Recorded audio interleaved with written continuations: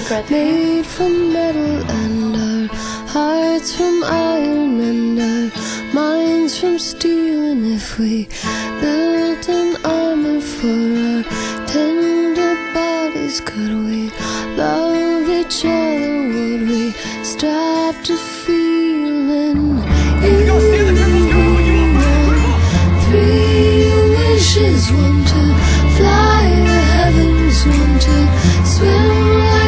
是怎么？